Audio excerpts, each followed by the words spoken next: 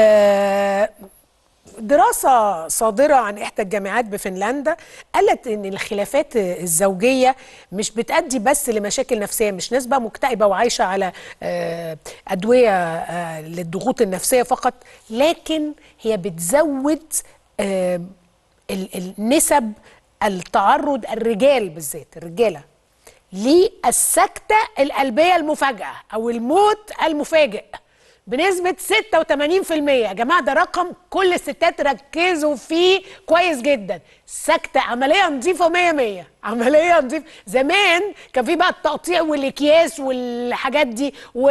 وناس تتمسك و... وسمته ومش لا دي عملية نظيفة 100 100 86% من ال- الأزواج ممكن يتعرضوا للسكتة القلبية المفاجئة نتيجة النكد. شوف بقى. والنكد ده إيه؟ ده ده كده طبيعي ده بالأدوات الطبيعية ده مش محتاج أي مجهود. لا محتاج تجيبي سكينة ولا محتاج تجيبي أكياس سودا ولا محتاج ترتكبي جريمة ولا أي حاجة. ده كده في الطبيعة في النيتشر في المزاج الطبيعي. طب الدراسة بتقول إيه بقى؟ إن الستات معظمهم يعني. أنا بس عايزة أفهم هو ده الستات بس ولا الرجاله ما هو الستات كمان ممكن تتعرض لسكتة قلبية أو يجي لهم كانسر مثلا لا قدر الله أو يجي لهم سكتة دماغية من النكد يعني. ما هو الحقيقة إنه يعني كده الموضوع ده منحاز جدا إن الستات هي اللي بتنكد على الرجالة. ما هو على فكره الرجاله في معظم الحالات هم اللي بينكدوا على الستات. طيب بتقول لك إن الستات هي المسؤولة عن النكد الزوجي. ودي قصة غريبة جدا بصراحة أنا مستغربة.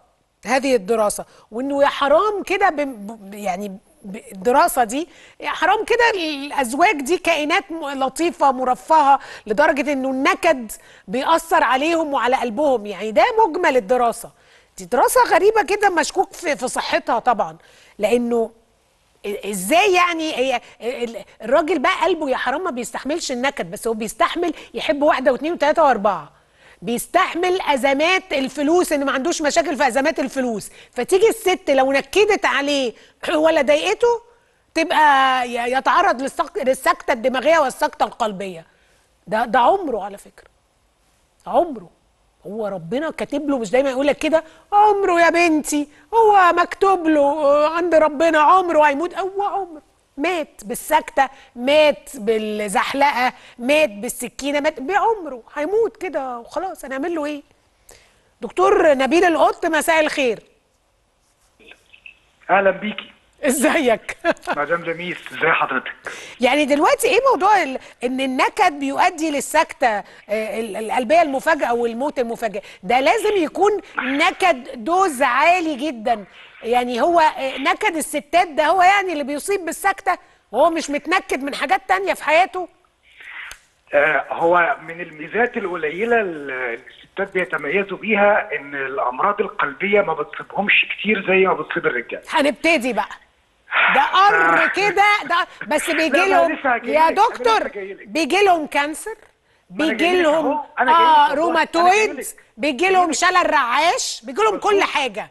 بيجي لهم مشاكل. في الغدة وفي الأعصاب وكل. حاجة بالظبط ففي مقابل السكتة القلبية اللي بتحصل للرجالة نتيجة للنكد الزوجي اللي بيحصل للستات كل بقى أمراض المناعة بقى من أول الغدة الدرقية ما هي بتكتم. هي الست بتكتم جواها بالظبط. تفضل تكتم تكتم تكتم لحد ما تموت يا عيني لا ده بسبب الاستروجين بسبب هرمون الأنوثة يا مدام لميس بجد هرمون الأنوثة بيحمي الستات آه. من أمراض القلب الحمد لله عشان كده أمراض القلب بتزيد بعد انقطاع الدورة الشهرية الستات آه. والرجالة بيتساووا في الموضوع بعد انقطاع الدورة الشهرية ولكن إحنا بنضيف لده كمان إنه الرجالة أكتر تدخينا من الستات إنه الرجالة أكتر عنفا من الستات وده بيأثر على القلب وبيأثر على الأوعية الدموية.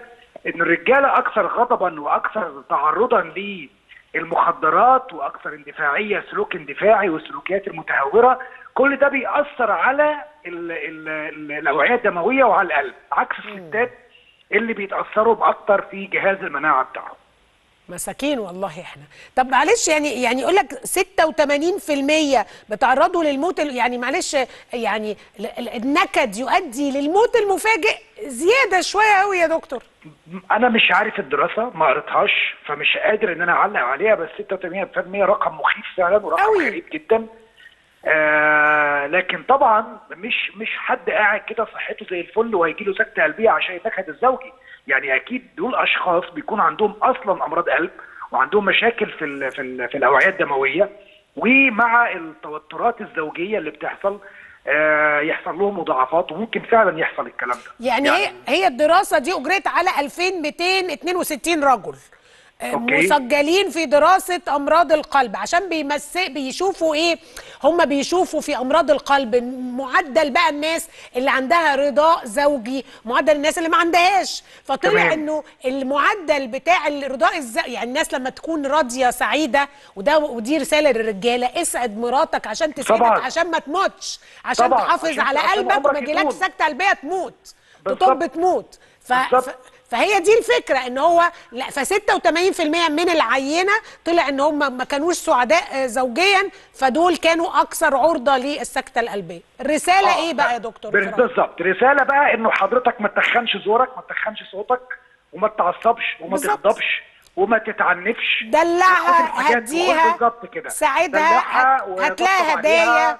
علشان حياتك تبقى لطيفة وعشان. قلبك يكون كويس وعشان تستمر في صحة كويسة إنما صح. ال- اللي بيعمل الكلام ده هو اللي هيتأذي. أنت حر. يعني أنت بالظبط. حر بقى. يعني أنت عايز تكمل في سكة إنك تضايقها. على فكرة هي هتكمل. وأنت هيجيلك أنت سكته. قلبيه وهتموت. أنت اللي. هتتضايق. أنت اللي هتتضايق. أنت هتموت. بالظبط. أنت هتموت. هو مش هيتضايق يا دكتور. آه. هو هيموت.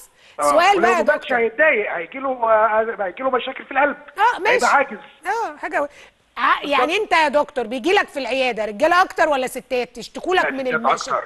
طبعا. لا ستات أكتر. إحنا مساكين. 80% ستات. إحنا على فكرة مساكين. 80% ستات. ومش عيادتي لوحدي على فكرة. لا لا لا. تم طبعا. ستات أكتر. وستات أكتر بيعانوا طبعا. وبعدين خدي بالك في في حاجة مهمة جدا لازم ناخد بالنا منها. الستات بيقضوا 80% من وقتهم في البيت. الرجالة بيقضوا العكس. آه على طول في الشارع وفي القهوة وفي الكافيه طبعا طبعا فالنكد لو موجود بيأثر على الستات أكتر لأن هم أكتر هم اللي بيواجهوا النكد جوه البيوت لكن الرجالة منطلقين يا في الشغل يا على القهوة يا مع أصحابه عنده حرية الحركة ال 24 ساعة لكن الست بعد ال- الليل ما بيدخل ما بتعرفش خلاص. قاعدة بالولاد بتذاكر. بتزعق بتذاكر بتطبخ بتشو بتروح. النادي بتا يعني يعني بتروح الشغل دي ست معذبة عموما طبعا. يعني عموما هي عملية نظيفة 100 100 يا دكتور. بدل الأكياس عملية نظيفة 100 100 ضايقك يا بنتي ضايقك. يا جماعة وبعدين ده كله بت- بإذن ربنا. كله بتاع إيه ضايقتي أو نكدتي عليه فمات. هو كله بتاع ربنا. ده رسالتي للست عملية نظيفة 100 100 ولا أكياس ولا بتاع ولا مش عارفة إيه. أنت عرفتي السكة. أما للراجل عايز حياتك تطول عايز حياتك تبقى لطيفة مفتاحك هذه السيدة الجميلة اللي هي آه، خليها سعيدة. غير كده على فكرة أنت اللي هتدفع الثمن وهي هتبقى سعيدة برضه وهتكمل عادي جدا. شكرا لا هي هي هتتعب على فكرة برضه. معلش هي كمان بتعب شوية وهتبقى طبعاً. كويس. شوية وتبقى كويس. شكرا, شكراً آه،. دكتور نبيل القط آه، استشاري الطب النفسي. بشكرك.